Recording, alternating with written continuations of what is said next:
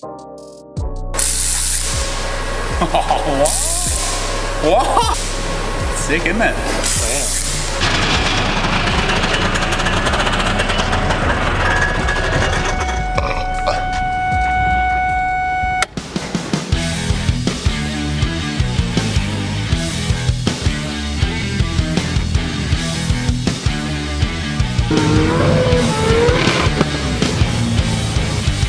What do you want, George? Hey George.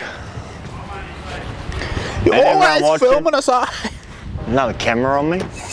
Can't go anywhere without George filming. Got the mighty Cadillac here beside us, underneath Daniel beside me. Boys picked this whip up last late last week. Wednesday last week. Yeah, mid mid last week. So this has got a full full airbag, just 10 minute AccuAir, isn't it? Yeah, AccuAir. AccuAir. Dual compressors. Five gallon hot dog tank. There Yeah. you go. Lots of fancy things. All the- it's all got the original. works. Hey, All the works. all the works. Yeah. It's got the original 429 Caddy donk in it.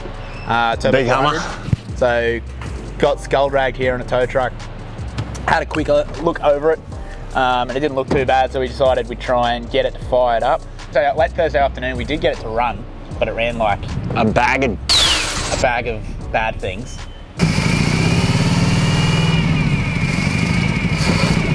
Friday morning, had another look at it, found the, I don't even know how it ran Thursday because Friday morning found that the timing was 180 degrees out. So we bang on. Bang on top dead. That's good. We bang on top dead, George. Bang on.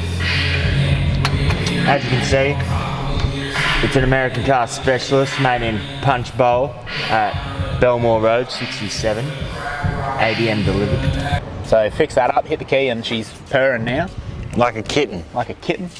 Fixed a couple fuel leaks, put a radiator in it, took it for a few hot laps. Take you for a hot lap. Yeah. Got it running, runs good. Runs well enough to warrants leaving it in there. We're just gonna we're gonna run through it, probably pull it out, paint it, put it back in, and rub all the primer back so that she's all one patinaed colour, one. One colour. And then whip it around, I think. Just cruise him around, do the brakes, all that sort of safety stuff. And then go to the drive-in theatres. Yeah, go to the go to the drive-in. Take the homies to the drive-in. Six deep. Put the boys in the back. Himmy's GTR yesterday. Went on the dyno yesterday at Edge, and it ended up yeah making 640, 640 horsepower at the wheels, at the rear wheels, because it was dynoed on just a, a rear wheel hub dyno. So 640. Uh, we'll get that front shaft put back in, so it's all-wheel drive again, obviously. But that's very good numbers for quite little boost. Um, it is a so it is a HKS 2.8 strokey kit in there, like an old school, old school cool strokey kit. So Stroke the Uh, old school. good results from an OG setup with some modern touches. So we're just doing some finishing touches on that, getting it all buttoned up, ready to go. We've got to put a few little um, aero things on the front and uh, Fuser. diffuser. Put the diffusers back on, and then yeah, tidy up a few other things. Get some gauges working properly on the inside, and then All the carbon fibre bits. put all the carbon fibre bits on it. Yeah, and then Himmy will take that back, and then yeah, What are you doing? gonna do a bit. Bye. Bye now. Watching. Sam's gonna go do a bit. Here you go, George. Take that. Thank you, thank you, sir. Thank you very much. Hop in there, you hop in there. Um, pretty well what I gotta do is finish buttoning up this Pandem wide body kit for it to go to paint and panel. Um, had from the rear bar fitment, I mean front bar fitment, front.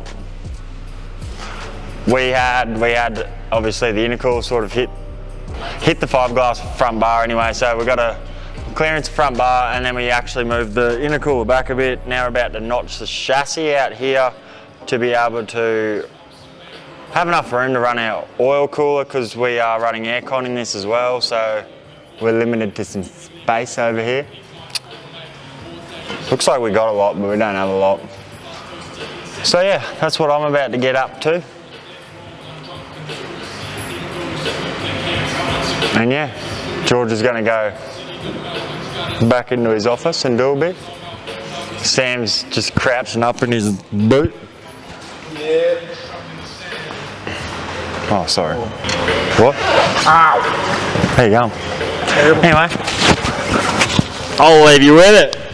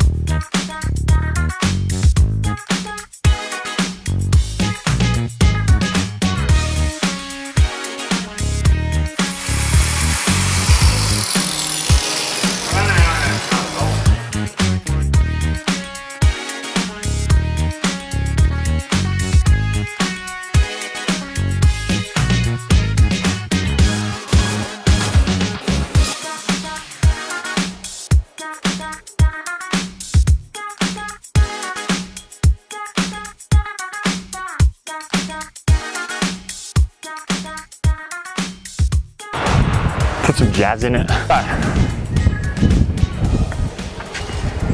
Got the big girl outdoors yesterday afternoon, back on the ground. It's been a minute or two. As you can see, and probably from the previous episodes, we've got the Pandem wide body now on the R32. Gonna send it off to paint shortly. Pretty much had to just tweak a few things yesterday and no, probably today if you're, I don't know, to, yeah, this week, during this week, we had to tweak a few things. So obviously because we've got the big Plazmaman intercooler, we had to notch out the front bar. I feel like I've spoke about this, George. I think yeah. Yeah. So to get it at a somewhat, somewhat reasonable ride height to where we want it sitting roughly to be able to just have a overall rough idea of where everything has to sit. We, um, while we're waiting on airbag cups to turn up in the mail, we couldn't get low enough coilovers. So for the meantime, we've I've pulled the springs out, so she's as close as it can go to the right height we are expecting to be at, and it looks good. See, look how low it is. Winner. And yeah, just a quick little run through George, eh? And now we're gonna give her a little little bath and yeah, just fully strip it apart and have a rolling shell ready to go to paint and panel. Oi, ready? Watch this, George. You got to film this bit.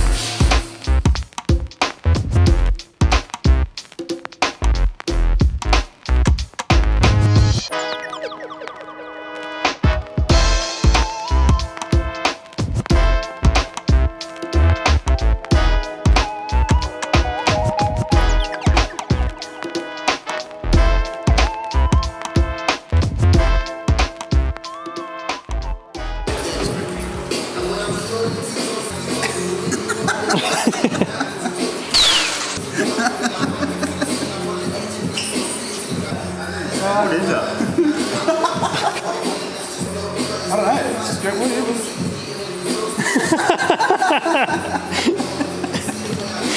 I don't know, but I'm gonna be. I want to be too. Maybe you stick it inside. Maybe it just goes inside like that.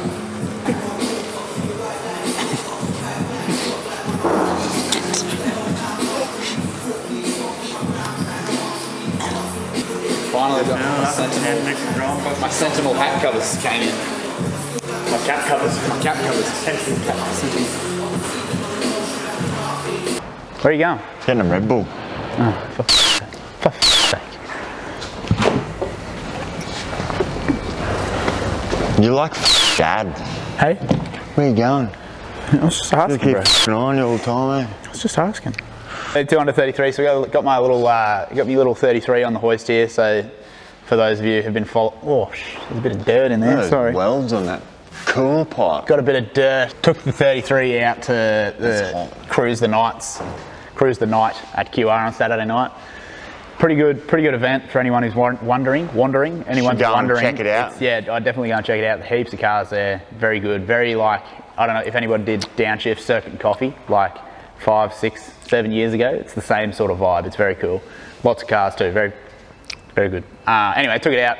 Got there at like 6:30. All the sessions were booked out till like quarter past nine. So booked in for one of those. Waited two hours. Got there first race. Spun a bearing. Made a noise right as I said that. Sorry, bro. Spun a bearing.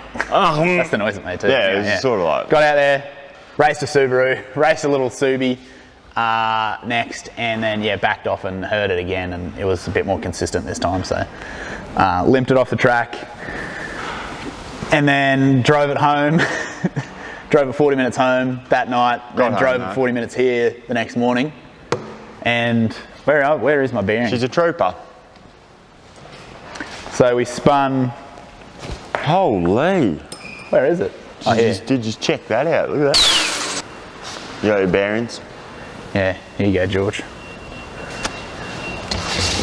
You got that? You like that? Have a go at that. That's cylinder six rod bearing.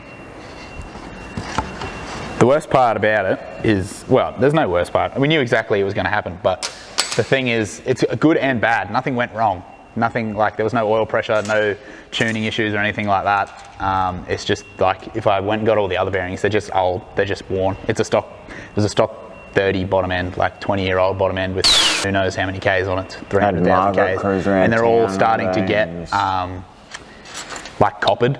So that's when when the copper starts coming through on a bearing. That's how you know they're uh, they're about done. Yeah, cool. And that's pretty much what happened. So sad boys, but anyway, uh, I've got the Forge 25 going in it now, so that'll be done in a week or two, and it'll be back out on the streets and back for sale. So I got the 30. Daniel's got the 32 pretty much finished up. Got all his guard work done, and we are just pretty much stripping the final little bits of it off until it goes to paint. Eh? Yep. Yeah, well. Sure are. Yep. It's going paint. Yeah. Paint panel. It'll be there for a while. Hey, Ray, how are you? What do you got? Right. Oh, Yeah. Samsonas. What do we get here? Is this a new SR20 gearbox? No. Oh. Oh. Do you know what this is? Symbolization station. Yeah. Oh, Oh, Jesus.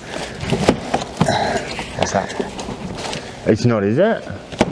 So this is the Samsonas sequential gearbox that will be attached to the 2JZ that's going in the yellow S15. Um, we'll get him unboxed and we'll get it mated up to the to the this, Oh, bro. and we might we'll you'll see that later. You're not will. going to see it now. You will 'cause- see that later. It's going to be sitting on that new bench of ours. Yeah, we'll yeah, stick it. Yeah, boy. Keep it. Yeah, Yeah.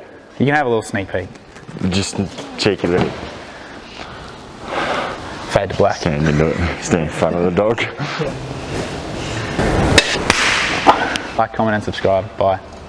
See you later. See you on the next episode. See this? Welcome back to the next episode.